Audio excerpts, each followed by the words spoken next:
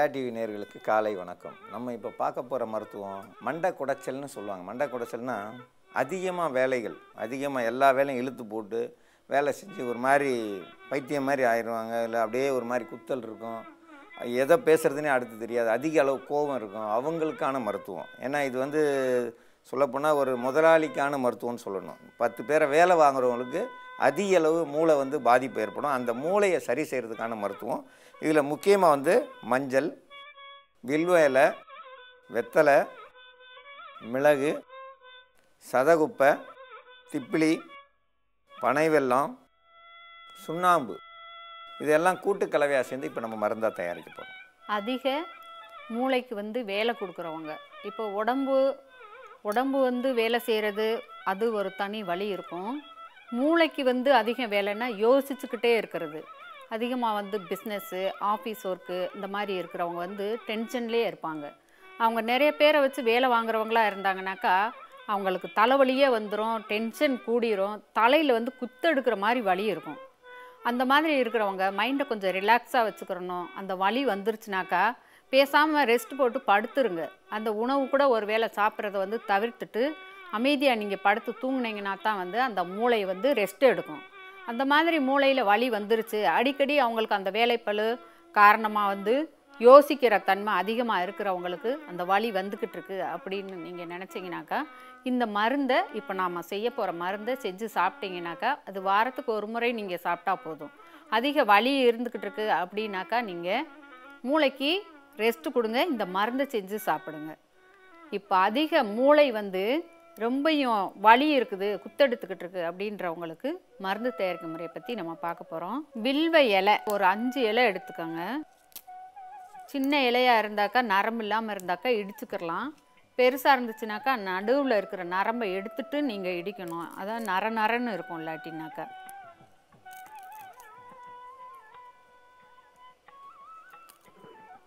அஞ்சு இலை வில்வ இலை சேர்த்துருக்குறோம்.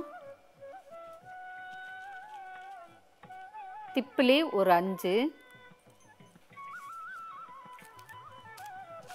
மிளகு சாதா மிளகு நம்ம ரசத்துக்கு இதுக்கெல்லாம் பயன்படுத்துகிற சாதா மிளகு ஏழு.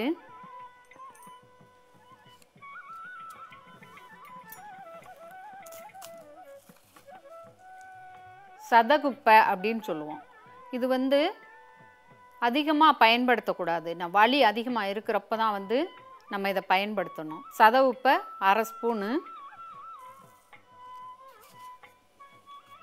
இப்போ இதை நல்லா இடித்து பொடி பண்ணிடணும்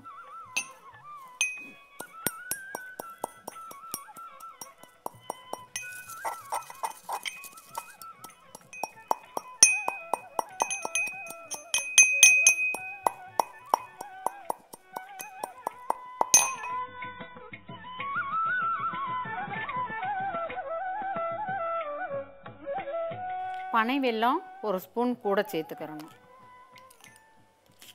எல்லாம் இடிச்சிட்ட பிறகு தான் வனைவெல்லாம் சேர்க்கணும். முதல்ல சேர்த்திங்கனாக்கா இலை அந்த சதவுப்பு இதெல்லாம் வந்து இடிபடாது. அதனால் இலை மருந்தை இடிச்சிட்டு கடைசி நேரத்தில் தான் வந்து பனைவெல்லம் சேர்க்கணும்.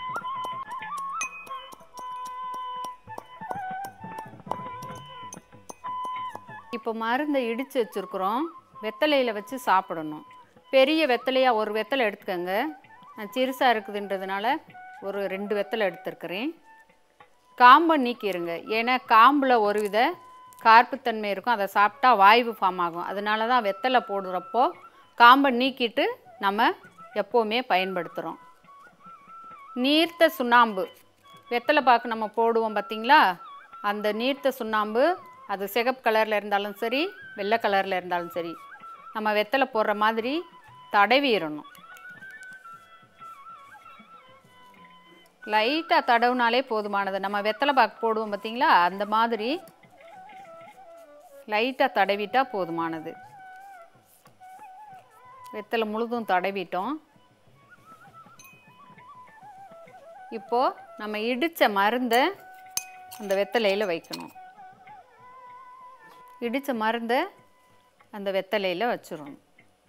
ரெண்டு சிட்டிகை மஞ்சத்தூள் கூட வச்சுக்கிறணும். இதை வச்சுட்டு இப்படியே மெண்டு சாப்பிட்றணும்